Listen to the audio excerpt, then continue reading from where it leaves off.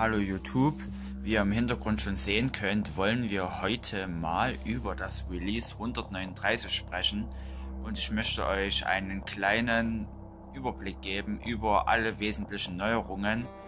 Ja, ich habe es jetzt mal als Präsentation gemacht, einfach um das überblicklich zu gestalten und ich würde mal sagen, wir fangen mit der ersten Neuerung an. Die ist nämlich, dass es neue Premium-Features gibt. Aber als erstes sollte man sich einmal die Frage stellen, was denn so entfällt. Erstens mal entfällt das kostenlose Identifizieren von allen Gegenständen und weiterhin entfällt noch das automatische Aufheben von Andermant, Gold und uraltem Wissen. Ja, warum entfällt das jetzt? Der Grund dafür ist, dass es einfach standardmäßig jeder dann hat. Auch ohne Premium kann man diese beiden Sachen benutzen. Dazu später aber noch mehr. Ja, was sind jetzt die Vorteile eines Premium-Accounts? Man bekommt jeden Tag eine große Überraschungskiste. Da können zum Beispiel Dietriche, Tränke, Essenzen, außergewöhnliche Items oder sogar legendäre Items drin sein. Es gibt insgesamt 25% mehr Ruhmpunkte beim Abschluss eines Wettkampfes. Also wenn ihr verliert, oder gewinnt, ihr bekommt auf jeden Fall überall 25% mehr und mit Mentorbonus könnte sich das dann richtig lohnen. Es gibt eine Vorauswahl von Talenteinstellungsänderungen im PvE sowie PvP-Bereich. Was kann man sich jetzt darunter vorstellen? Man kann hier an dieser Stelle schon mal sehen, es gibt eine erste Einstellung und eine zweite Einstellung. Und ihr könnt zum Beispiel sagen, hier bei Magier ganz typisch jetzt, meine erste Einstellung geht dann weiter mit Feuer, Skillung und meine zweite Einstellung ist Blitzskillung. Und damit kann man dann einfach sagen, oder ich möchte jetzt hier zum Beispiel mal schnell gewechselt haben den Laufspeed und den Attack Speed. Bei Laufspeed habe ich zum Beispiel 15% äh, mehr Schutz, damit ich zum Beispiel meine Flagge eher holen kann. Oder ich gehe voll auf Offensiv mit ähm, mehr Speed und einer finalen Supernova als Explosion. Da kann man dann halt schnell mal hin und her switchen und muss nicht erst alles neu skillen. Gut, als nächste Änderung hätten wir den Premium-Händler, der heißt Emilia. Also es wäre jetzt in dem Fall eine Händlerin. Diese ist bestimmt schon bekannt, wenn man eine Buchung bekommt. Das ist nämlich die nette Dame an der rechten Seite. Ja, die verkauft Pets, Reittiere, Unix und andere Sachen. Und die tut ihr Angebot öfters wechseln. Das heißt jetzt mal, nur wenn ihr Premium habt, könnt ihr ihre Angebote nutzen und kaufen. Ja, so sieht die gute Frau aus. Und ihr Angebot wäre das hier. Zum Beispiel diesen speziellen Feuergnom, also Feuergnom als Pet. Dann das schnelle oder hastige Rentier. Nicht Rentier, sondern Rhinoceros das hastige Rhinoceros ist ein schnelles Reittier. Deshalb war ich jetzt bei Rentier, aber das stimmt natürlich nicht. Ist ein schnelles Reittier. Und vielleicht habt ihr es schon in dem Video von, ähm, äh, wie heißt er denn? Gesehen, ähm, verdammt nochmal, wie heißt denn der? Na, ihr wisst schon, wen ich meine. Auf jeden Fall, der war auf Facebook. Er hat zwei Videos gemacht und er hat das auch bekommen. Wird mir bestimmt gleich einfallen, wie der heißt. Ähm, ja, hier seht ihr dann noch zum Beispiel drei Unix. Das ist ein Zweihandstab, das ist eine Kugel und das ist ein Buch, glaube ich, für den Magier. Ja, wer kauft sich das? Also ganz ehrlich. Spektakuläres Feuer, äh, also spektakuläres Feuerwerk.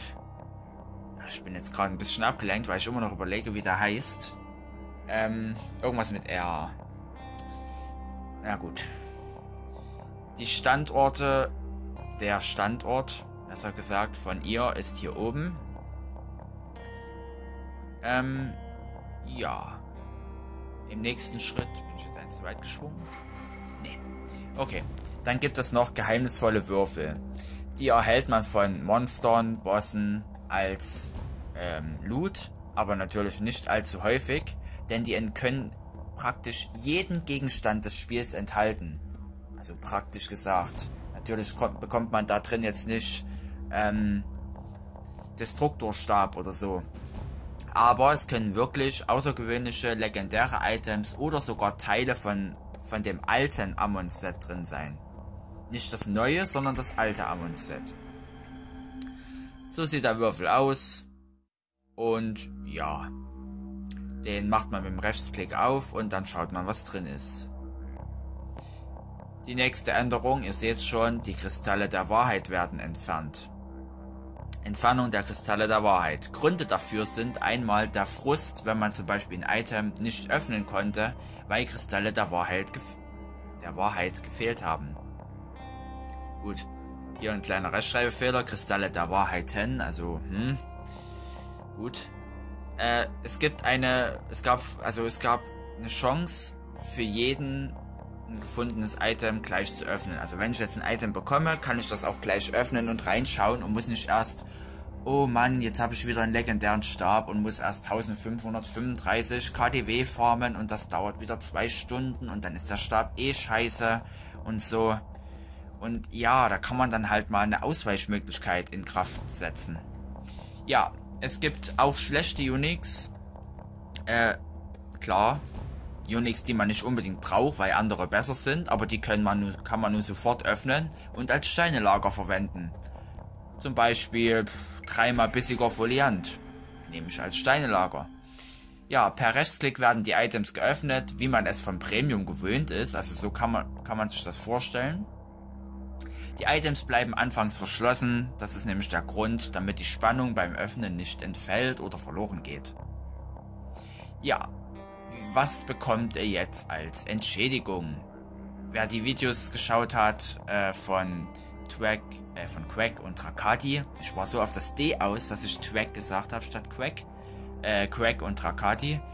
Ähm, ja, für ein Kristall der Wahrheit bekommt ihr 2 Andermand, für 300 Kristalle der Wahrheit 600 Andermand, für 10.000 KDW erhaltet ihr 20.000 Andermand.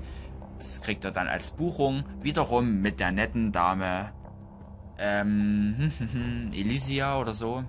Also auf jeden Fall der Premium-Händlerin. Ja, jetzt gibt es noch eine weitere Neuerung, nämlich die Ingame-Währung. Es gibt einerseits gleiche Verkaufspreise von unidentifizierten und identifizierten Items. Bisher war es ja so, wer Premium hatte oder allgemein ein Item identifiziert hat, hat dann mehr Gold darauf bekommen. Zum Beispiel auf dem außergewöhnlichen Level 45er Item gab es so um die 30 bis 50 Silber und wenn man es identifiziert hat, gab es so ein Gold und 50 Silber oder, oder auch mal zwei Gold. Ja, das automatische Einsammeln von Währung ist generell für jeden verfügbar und äh, das finde ich jetzt auch gut, weil es war ist wirklich nervig, wenn man kein Premium hat und läuft, muss jedes einzelne Golddings anklicken und wenn es nur 46 Kupfer sind, das ist dann richtig lästig. Ja, die Reisen in ein Gebiet für Andermann, zum Beispiel, wenn ich jetzt von Kingshill nach Heckestow-Grotten reiten will oder in die Wildherzhöhlen, musste ich ja immer 40 Andermand bezahlen. Da kann ich nun auch sagen, ich nehme ein Gold und komme direkt dorthin. Ob jetzt die Reisen generell etwas kosten oder ob es für Premium-User immer noch kostenlos ist, das wurde nicht erwähnt. Also es kann sein, dass die Premium-User dann auch mal ihr Gold einsetzen müssen. Ja, Gold und Silber und Kupfer hatten bisher im Game wenig Einfluss, deshalb diese Änderung. Und es soll nun öfters benötigt werden. Der erste Schritt war für die Gaukler. Der zweite Schritt ist für die Werkbank, das erzähle ich dann noch. Ähm, der Premium-Händler hat man ja schon gesehen, ein Unique 1500 Gold oder das Rhinoceros 5000 Gold, also dass man wirklich Gold gezielt farmt und das dann auch wo einsetzen kann. Ja, als Bezahlung für Reisen in die Wildnisgebiete hatte ich ja auch schon gerade erwähnt. Die letzte Änderung wäre Werkbank und Dropraten. Das Herstellen eines Items an der Werkbank kostet nun Gold oder Andermand. Ich könnte mir vorstellen, vier außergewöhnliche Items zu einem legendären wird wohl Andermand kosten. Ja, da nun höhere Kosten anfallen, ist das Zusammenqua äh, für das Zusammencraften werden auch die Dropraten erhöht. Generell wurde es jetzt nur für legendäre Items genannt, aber es kann auch sein, dass die Dropraten allgemein erhöht wurden. Andermand, uraltes Wissen und Gold wird automatisch eingesammelt, erwähne ich jetzt mittlerweile schon zum dritten Mal, ist aber auch wirklich Also ich meine, wo ich das noch nicht hatte, habe ich wirklich jedes Gold einzeln eingesammelt. Das hat mich auch nicht gestört. Aber wo ich das erste Mal Premium hatte, dann merkt man einfach, dass man ist so, und sobald Premium weg ist, dann kotzt es einen wieder übelste an, das Zeug aufzuheben. Ja, es gibt eine Dropratenerhöhung. 100% erhöhte Droprate von legendären Items bei normalen Monstern oder Minibossen. Das heißt jetzt in normalen Gebieten wie Stahlguard zum Beispiel, da könnt ihr 100% äh, mehr legendäre Items und äh, so finden von Monstern und Minibossen. Das heißt jetzt 100% höhere Droprate heißt jetzt einfach nur, wenn die Dropra Droprate, klar, wenn die Droprate bei 5% liegt, habt ihr dann im Endeffekt 10%. Das ist jetzt nur ein Beispiel. Dann gibt es in den Zwischenwelten eine 200%ig erhöhte Droprate von legendären Items von allen Monstern, Bossen. Wie gesagt, in einer Zwischenwelt. Zwischenwelten sind natürlich Q1 bis Q6. Ähm, ja. Das heißt zum Beispiel, wenn ihr, wenn die Droprate bei 10% liegt, würdet ihr dann 30% bekommen. Oder zu 30% dort was droppen. Gut, und dann gibt es noch in der Zwischenwelt von Monstern und Bossen eine 100% erhöhte Droprate von Edelsteinen. Natürlich jetzt nur mal so bildlich dargestellt, das ist ein Edelstein, das heißt jetzt nicht, dass der zu 100% besser droppt, dieser einfache Rubin, sondern dass allgemein alle Edelsteine eine höhere Droprate besitzen.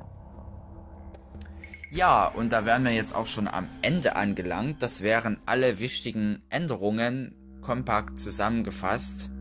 Natürlich im vorhergehenden Video habe ich noch das Sternengold-Event erwähnt, was natürlich auch nochmal wieder kommt. Und ja, ich finde die Änderung ganz gelungen. Die Frage ist natürlich immer, wie viel man denn nun an Andermant bezahlen muss, um zum Beispiel dorthin zu reisen. Natürlich wird das durchs Gold ersetzt, aber bei der Werkbank muss man ja auch öfters mal an der Mand einsetzen. Und wenn man dann, um ein legendäres Item zu craften, 300 an der Mand braucht, dann ist das auch nicht so witzig. Finde ich jetzt persönlich. Ähm, andererseits droppen natürlich die legendären Items auch allgemein häufiger, dass man einfach sagen kann, gut, ich muss jetzt gar nicht unbedingt Sachen kombinieren. Ja, was machen natürlich jetzt die meisten Leute, bevor das große Release kommt?